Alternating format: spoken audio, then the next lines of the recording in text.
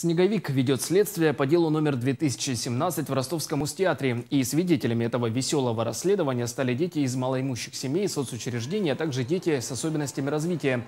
Вместе с Дедом Морозом зажгли елку, а после отправились на новогодний спектакль. Такой праздник для детей в сложных жизненных ситуациях благотворители устроили впервые. Каждому ребенку должен прийти Дед Мороз. И вот благодаря таким акциям это становится возможным. И каждый ребенок понимает, что его Дедушка Мороз слышит, что он обязательно к нему придет.